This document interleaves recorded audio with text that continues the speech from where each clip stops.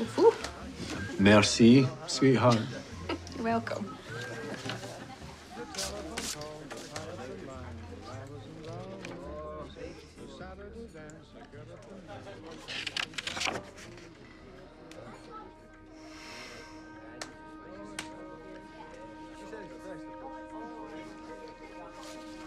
Yeah, take a look at that.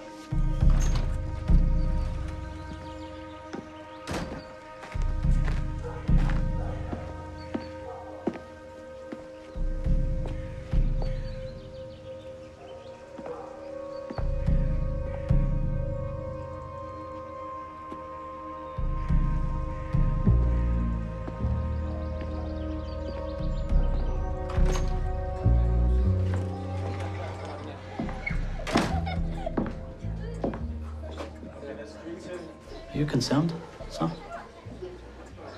Come to your home, that's, that's out of order.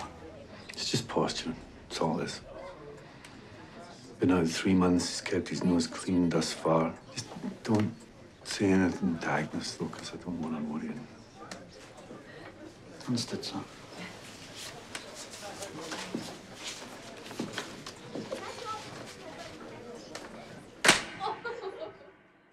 Now, the woman you attacked last Sunday had a three-year-old son with her. That wee boy had to sit and watch while you punched and kicked his mother. What do you say to that?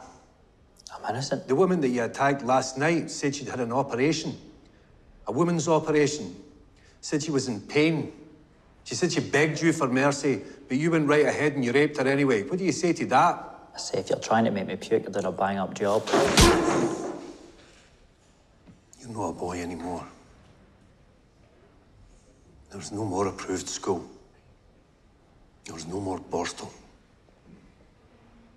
This time it's going to be prison, and for a good long while.